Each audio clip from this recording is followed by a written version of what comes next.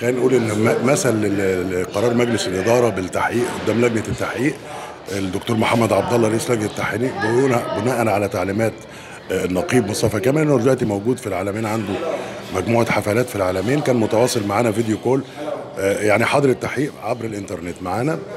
آه، حفظنا التحقيق النتائج تم حفظ التحقيق بعد قبول الاعتذار بعد اعتذار صراحة للشعب التونسي الشعب التونسي والشعب المصري شعبين متلاحمين شقيقين اواصر صلة قديمة كبيرة. مش هنقبل أي تجاوز في حق أي شعب عربي مش الشعب التونسي بس.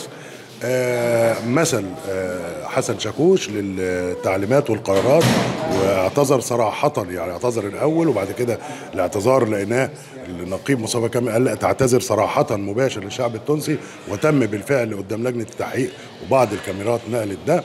إنه اعتذر صراحة آه، للتوانسة الأشقاء وتم حفظ التحقيق بناء على الاعتذار المباشر وقبول الجانب الآخر الشعب التونسي الشقيق هذا الاعتذار آه، مع عدم آه، الت- التنبيه على عدم تجاوز مرة تانية أو حدوث مثل هذه الأفعال مرة تانية.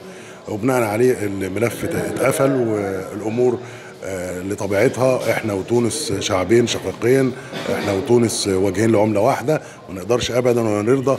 زي ما النقابة عارفة متى تحنو على أعضائها عارفة متى تقف عند التجاوز أو التجاوزات لإعطاء الحقوق يعني. كده خلاص الإيقاف اترفع عنه. آه تم حفظ التحقيق تم حفظ التحقيق. آه القرار بلجنة التحقيقات الدكتور محمد عبد الله عضو مجلس إدارة رئيس لجنة التحقيقات آه قرر حفظ التحقيق بناء طبعا زي ما قلت لحضرتك على آه توجيهات الفنان مصطفى كامل نقيب المهن الموسيقية بعد الاعتذار المباشر اللي قدمه حسن شاكوش. هل كان في توقيع عقوبة عليه؟ ممكن؟ آه طبعا. آه طبعا. لجنة التحقيقات وما تترقاه لكن هو مثل لكل التعليمات والموضوع خلص يعني. طيب بالنسبة بقى لواقعه السرقه اللي تعرضت لها النقابه إيه الجديد فيها؟ لا خلي ده موضوع خلينا مع حسن شاكوش وده موضوع تاني يعني. هو هو عبارة عن مضبطه مجلس الإدارة بتاعت الجلسات والمضبطه دي فقدت ضاعت سرقت اتاخدت من النقابة وبعد كده الموضوع قيد التحقيقات يعني. الموضوع يعني إداري بالليل الفنان مصطفى كامل قال ان هو خد إجازة مفتوحة من من النقابة علشان يقدر يركز بصوا الفنان مصطفى كامل لازم تعذروه. الراجل بيعوم في محيط.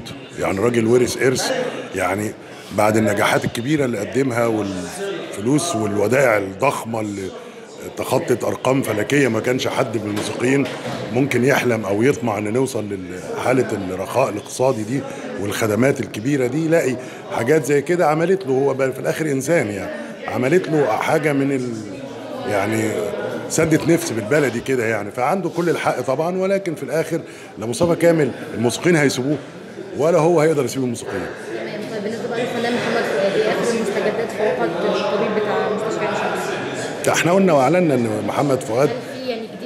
هو برضه قيد التحقيقات ولكن الفنان محمد فؤاد أحد الرموز والقامات الكبيرة اللي بنتباهى بيها على أبناء العمومه في الشرق الأوسط وعضو جمعيه عمومية عضو عامل وإن طبعا ليه كل الحقوق وكل ال- الالتزام من النقابة تجاهه والنقابة أعلنت والفنان مصطفى كامل أعلن إن هو آه، آه، قلبا وقالبا آه، متضامن مع الفنان محمد فؤاد ووجه فعلا شؤون القانونية لمتابعة الموضوع مع محمد فؤاد. والموضوع ماشي قائد التحقيقات ومنعنا أي حد يتدخل ويتكلم باسم النقابة أو يتكلم باسم حتى الفنان محمد فؤاد طلع قال أنا ما حدش يتكلم ولا يزايد والموضوع قيد تحقيق فأحسن نسيبه في المسار الطبيعي القانون فوق الكل يعني.